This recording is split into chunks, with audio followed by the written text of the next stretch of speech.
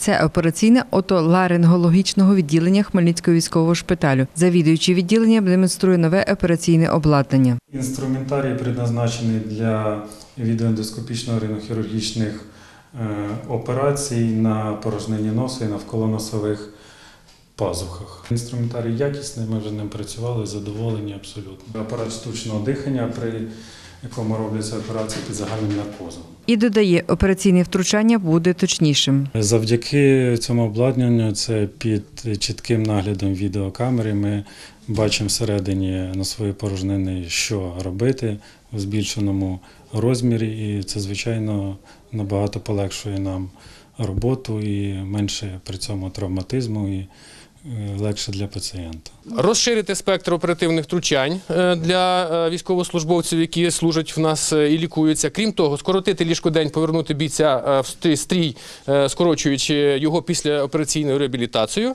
і залучити до нас якби, більше хворих, які можуть у нас отримати лікування в зв'язку з тим, що цього обладнання немає поки що в Хмельницькому взагалі. Нове ендовідеоскопічне ринохірургічне обладнання було придбано за гроші з міського бюджету, розповідає Сергій Мельник. Програма була прийнята два роки назад. Її е, сума це 700 тисяч гривень.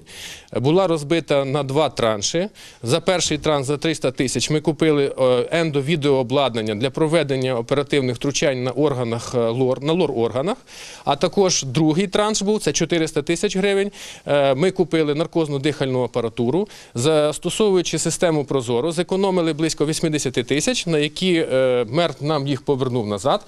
І ми на них купили інструментарій для проведення цих операцій. За словами міського голови Олександра Семчишина, в наступному році в бюджеті міста будуть заплановані кошти на придбання медичного обладнання військовому шпиталю. Тетяна Ворожцова, Юрій Чорний. Новини на Суспільному. Хмельницький.